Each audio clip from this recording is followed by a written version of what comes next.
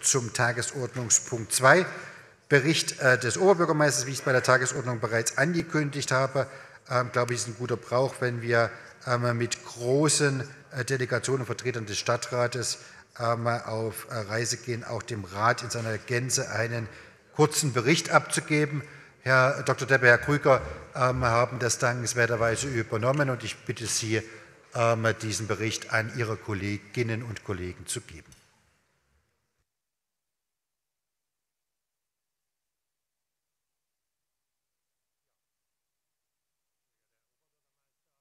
Kolleginnen und Kollegen, liebe Mitbürgerinnen und Mitbürger. Wir haben eine eindrucksvolle Reise hinter uns, eine Reise in ein Land oder eben in eine Stadt mit äh, vielen Kontrasten, mit vielen Gegensätzen, die einen nicht unberührt heimkehren lässt. Wir beide werden Ihnen jetzt ein bisschen darüber berichten. Ähm, wir waren ja aber nicht die Einzigen, die mit waren, ähm, sondern es waren zwei weitere Mitglieder aus dem Stadtrat, Herr Hecht ähm, von der Linken und Herr Wiedenmann aus der AfD-Fraktion. Es waren des Weiteren Vertreter verschiedener Ämter aus der Stadt dabei. Es war der Leiter der Stadtreinigung dabei und auch der Vorsitzende des Verbandes der Kleingärtner in der Stadt ähm, und ähm, zwei Unternehmer und noch ein paar andere Persönlichkeiten. Insgesamt waren wir also 19 Menschen. Wir werden jetzt ähm, im Hintergrund so eine kleine Diashow laufen lassen, die Ihnen ein paar Eindrücke vermitteln kann von dem, was wir dort äh, gesehen haben. Und wir werden auch ein bisschen thematisch Bezug darauf nehmen, auch auf diese Bilder, die Sie sehen. In was für ein Land sind wir gekommen, in was für eine Stadt sind wir gekommen? Brazzaville ähm, ist die Hauptstadt der Republik Kongo, also des sogenannten kleinen Kongo, ähm, eine Stadt mit 1,8 Millionen Einwohnern. Äh, 5 Millionen Einwohner hat das ganze Land, also diese Stadt hat schon eine große Bedeutung für das Land. Ähm, die Republik Kongo ist eine ehemalige französische Kolonie sie ist dann zunächst eine sozialistische Republik gewesen. Da ist eben auch die Partnerschaft äh, zur damaligen DDR begründet worden.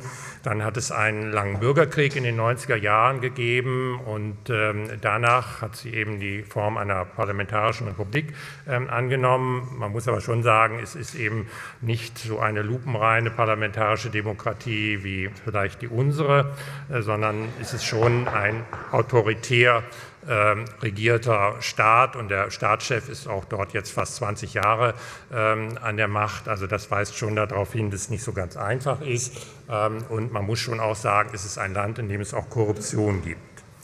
Ähm, dem Land geht es eigentlich wirtschaftlich gar nicht so schlecht. Es ist ähm, ölreich, ne? also es wird viel Erdöl dort gefordert, es gibt Tropenhölzer. Ähm, dennoch ist das äh, Lebensniveau der Menschen dort äh, nicht allzu hoch. Die Lebenserwartung liegt bei 62 Jahren. Ähm, und äh, ist es so, dass ähm, das Land äh, trotz eben vorhandener Flächen ähm, etwa 60 bis 70 Prozent seiner Nahrungsmittel, also auch Grundnahrungsmittel, einführen muss, weil die, Landschaft, die Landwirtschaft dort eben über Jahrzehnte überhaupt nicht gefördert worden ist. Gut, wir haben nun in der Stadt auf dieser einwöchigen Reise verschiedene Projekte besichtigt und äh, uns äh, eben verschiedene äh, Akteure auch in der Stadt, äh, Gespräche mit verschiedenen Akteuren in der Stadt äh, gehabt. Es ging ja immer um die Frage, was können wir aus dieser Partnerschaft machen ähm, und wo können wir ähm, als Dresdner unter anderem auch mit den Mitteln, die eben im Januar von uns allen hier bewilligt worden sind, äh, nutzbringend etwas tun für die Menschen dort im Sinne Sinne des Prinzips Hilfe zur Selbsthilfe. Ähm, und da haben wir dann schon eben verschiedene Projekte gesehen und ähm, ich möchte zunächst mal auf zwei Projekte eingehen und ähm, Herr Krüger wird dann fortsetzen. Ein ganz großes Problem in der Stadt Brazzaville ist der Müll. Sie finden Müll überall. Ich denke, manche Bilder zeigen es auch auf allen Straßen. Ähm, uns wurde auch gesagt, dass ähm, rein das Müllaufkommen pro Einwohner in Brazzaville höher ist, höher ähm, als das Müllaufkommen in Dresden. Ne? Das hängt damit zusammen, es gibt viel Verpackungsmüll, weil eben viel Lebensmittel halt auch eingeführt werden und andere Produkte. Und dieser Müll landet auf den Straßen. Es gibt äh, sowas wie eine Müllabfuhr, die findet aber nur äh, auf den Gebieten statt, wo es asphaltierte, befestigte Straßen gibt und die befindet sich in der Hand eines ausländischen Unternehmens, wo die Stadt dann auch kaum Einwirkungsmöglichkeiten hat. Und es geht halt vor allen Dingen darum, wie kann man den Müll eben auch aus den ärmeren Stadtbezirken, wo es eben keine befestigten Straßen gibt, herausbringen. Da ist jetzt die Idee, ähm, dass man dort Müll Sammlungen kleinräumig an den Haushalten ähm, einführt und ähm, dann eben zentrale Sammelcontainer hat, so in Form von so Muldencontainern. Ähm, und äh, da ist unsere Idee, dass man das unterstützen könnte von Dresden aus äh, in der mit der Anschaffung von Fahrzeugen, die dort eben diese Mulden abholen können. Also das ist so eines dieser Projekte, was sich äh, dabei herauskristallisiert hat und eben diese äh, dezentrale Müllsammlung eben in diesen ähm, ärmeren Stadtvierteln. Also das ist so etwas, was wir als Projektmöglichkeit mitgenommen haben. Es wird auch wichtig sein, dass das Bewusstsein verändert wird ähm, für eben dieses Müllproblem. Ähm, und ähm, da ist so der Ansatz bei den Kindern. Also es soll wirklich jetzt auch in die Schulen getragen werden, dass sozusagen Kinder ihre Eltern erziehen, dass man eben den Müll nicht einfach wegwirft, sondern dass man Müll sammelt, dass man Müll vielleicht auch trennen kann und dass man dieses Problem auf die Art und Weise angeht. Ein anderes Projekt, ähm, wo Sie auch im Hintergrund Bilder sehen, ist das Projekt des Urban Gardening. Ähm, das kann man sich so vorstellen, dass in der Stadt Flächen zur Verfügung gestellt werden. Eine Fläche haben wir dann eben auch besichtigt, relativ großräumig, wo Menschen ähm, eben Gemüse anbauen können, auf so allgemein zugänglichem Land dort. Ähm, und ähm, um damit eben auch ein bisschen diesem Problem, dass so viele Lebensmittel eingeführt werden, entgegentreten zu können. Also Sie haben kleine Flächen zur Verfügung dort, in denen Sie gärtnern können. Ich glaube, so ein paar eindrucksvolle Bilder dazu sind ja auch zu sehen. Ähm, und äh, da gibt es auch die Überlegung, wie kann man das fördern. Uns ist gesagt worden, dass äh, dort wichtig auch äh, zunächst nochmal Anleitung, Ausbildung ist. Also wie geht man meinetwegen mit Saatgut um, Pflanzabstände, Schädlingsbekämpfung. Ähm, und ähm, da ist auch die Idee, dass das eben hier vom kleinen, vom Stadtgärtnerverband unterstützt wird. Die haben ja auch viele Fachberater und dass man es eben auch über entsprechendes Saatgut unterstützt. Ne? Also auch auch ein Projekt, wo man wahrscheinlich mit geringen Mitteln äh, eine ganze Menge erreichen kann. Ja, das sind zwei Projekte, die ich vorstellen möchte. Herr Krüger übernimmt. Ja, vielen Dank, Herr Dr. Deppe. Ja, ein großer Teil unseres Zeitbudgets äh, wurde ausgefüllt durch den Besuch von verschiedenen Schulformen. Wir haben uns sowohl eine Grundschule angesehen, wir haben uns eine weiterführende Oberschule angesehen, wir haben uns auch eine berufsbildende Schule angeschaut, bis hin dann am, auch am Ende einer äh, Fachhochschule für Land- und Forstwirtschaft. Ähm, das, was ja schon aus der letzten Delegation durchklang, konnten wir noch mal eindrucksvoll bestätigt führen. Die Klassenstärken sind in einer Größenordnung, das habe ich mir mal vor 50 Jahren von meinem Großvater erzählen lassen, wie groß mal Klassen gewesen sein können. Es waren dort zum Teil bis zu 150 äh, Kindern in den Klassen drin. Es gab immer mehrere hochmotivierte äh, Erzieher, die sich um die Kinder und Jugendlichen gekümmert haben. Aber wir haben auch äh, gesehen, mit welchem Enthusiasmus und mit welcher Freude dort die Kinder und Jugendlichen gelernt haben. Ähm, insbesondere hat mich äh, auch beeindruckt äh, das äh, Schulzentrum für die berufliche Bildung, weil es ja letztendlich darum ging, wie wir auch im Land gesehen haben, dass dort die Fachleute auf verschiedensten Gebieten dringend benötigt werden. Das war ein Querschnitt von Menschen, die dort Jugendlichen, die dort sich im Bereich der Elektrotechnik ähm, gelernt haben, Bereich ganz einfach, auch ein Bild war dabei, die gelernt haben äh, zu mauern, wir haben gesehen, dass sich junge Menschen auch an einfachen Metallarbeiten und eben auch an Maschinen ähm, dort ähm, ausgebildet werden. Dort haben wir, das muss man auch ganz offen sagen, auch so ein paar potemkinsche Dörfer gesehen. Wir haben zum Beispiel gesehen ein Entwicklungshilfeprojekt, dass dort drei CNC-Maschinen angeliefert wurden. Die stehen da seit fünf Jahren. Es gibt keine Programme dazu, es gibt keine Werkzeugaufnahmen dazu, aber sie drehen sich manchmal. Also auch das haben wir gesehen. Allerdings haben wir auch gesehen, mit welcher Freude dort die Jugendlichen an einer alten Drehmaschine aus DDR-Zeiten von 1953 gelernt haben, mit solchen Dingen umzugehen. Ähm, für mich war auch äh, interessant, äh, wie das dann mit der Anerkennung äh, verschiedener Ausbildungsebenen ist, ob dann diese Ebenen auch entsprechend anerkannt werden, zum Beispiel in der Fachschule für Forst- und Landwirtschaft. Dort kriegten wir eben dann die Information, dass in Europa diese Abschlüsse anerkannt werden, natürlich eher im französischsprachigen Teil in Frankreich und in Belgien. Also insgesamt, ähm, dort haben wir auch konkrete Vorschläge, wie wir dann im Rahmen der Richtlinie, die wir ja hier noch ähm, bearbeiten und beschließen müssen, wie wir ganz konkret auch für Schulprojekte, und das war wirklich ein absolut auch für mich heute nach äh, wichtiger Teil dieser Besuchsreihe, äh, dort, wie wir dort unterstützen können. Wenn wir sehen, wie dort mit einfachsten Mitteln in ähm, großer, in, großem Engagement versucht wird, den Kindern und Jugendlichen entsprechend Bildung zu vermitteln, war schon beeindruckend. Und wenn man dann hört, welche wichtigen, äh, wir haben ja immer gefragt, was würdet ihr euch wünschen? Und da war eben einer, gerade bei dieser äh, einen Grundschule, dass man gesagt hat, wir, der sich mitten in einem Armutsviertel befand, wir wünschen uns eine Mauer. Dann ist man im ersten Moment äh, erstaunt, warum eine Mauer? Ganz einfach, das war der einzigste Bereich, diese Schule, wo es ähm, Latrinen gab.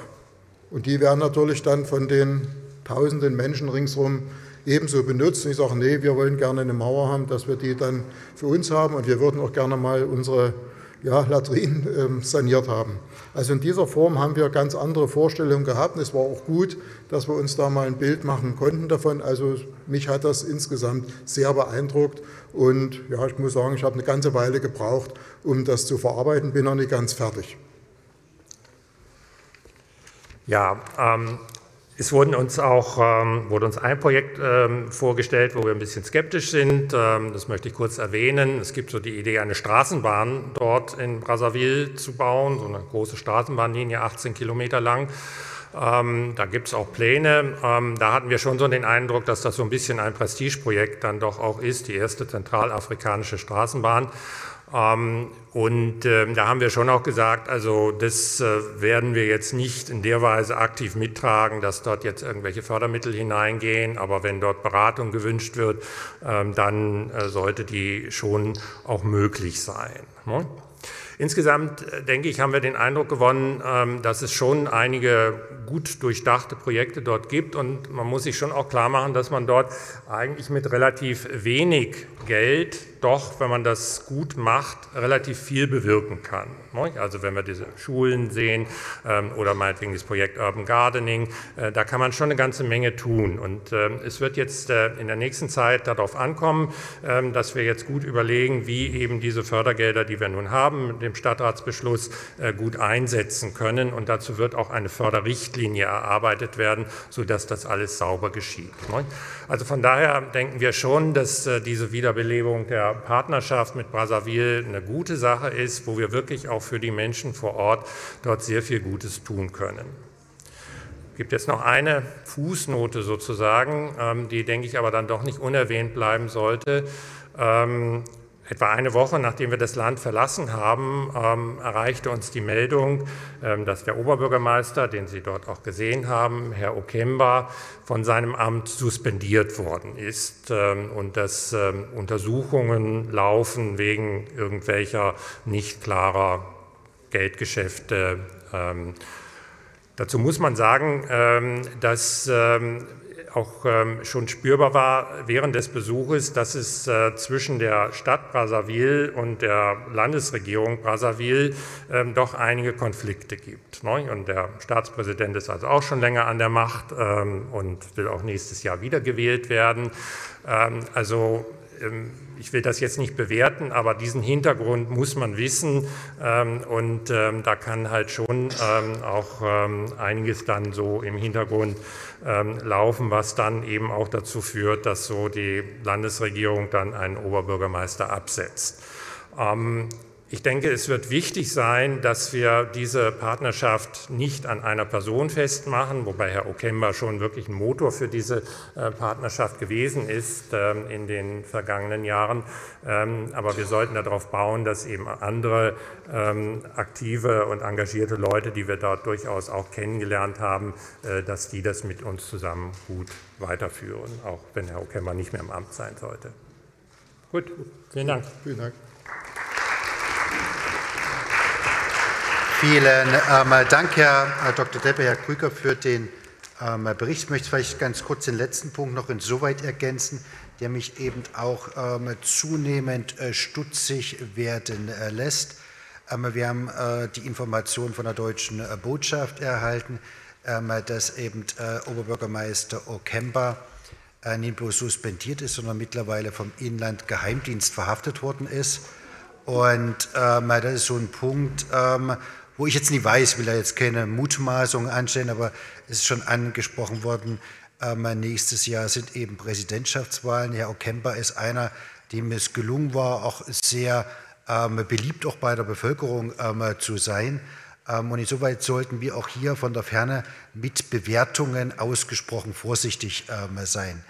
Ähm, wichtig ist, und das kann ich nur noch mal deutlich hier auch im Stadtrat erklären, wir haben äh, weder bisher ähm, finanzielle Transfers in Richtung ähm, Stadtverwaltung ähm, Brassavilles vorgenommen, noch haben wir das vor, sondern uns ist sehr wichtig, dass Begegnungsangebote zwischen Menschen stattfinden und dass wir Hilfe zur Selbsthilfe ermöglichen, unterstützen, die aber eher im Sinne von materieller als von finanzieller ähm, Ausfertigung passiert. Und wie wir es genau ausgestalten, liegt auch in Ihren Händen. Wir werden ja äh, jetzt eine Förderrichtlinie, ähm, die dann über das, was wir als Rahmen beschlossen haben, dann tatsächlich ähm, untersetzt, wie die Ausgabe äh, funktionieren soll. Und das werden wir miteinander noch diskutieren. Also insoweit braucht jetzt keiner Angst haben, dass unsere Gelder in korrupte Kanäle gegangen sind die im Moment noch gar nicht auf dem Weg sind. Soweit vielleicht eine Ergänzung. Vielen Dank ähm, den Mitreisen. Muss auch noch mal sagen, wir hatten vor uns gerade die erste ähm, Follow-up-Runde ähm, mit ähm, der Delegation. Ähm, ich habe eine ausgesprochen ähm, engagierte Delegation gehabt, die sehr fundiert, auch jeder für die Fachbereiche anschließend Rechenschaft abgelegt haben, Vorschläge gemacht haben und äh, wen das interessiert, das ist auch eine äh, sehr spannende Dokumentation von äh, den Einzelgesprächen bis hin zu dem, was als Follow-up-Vorschlägen da ist für die Zukunft. Teil davon haben wir jetzt hier von den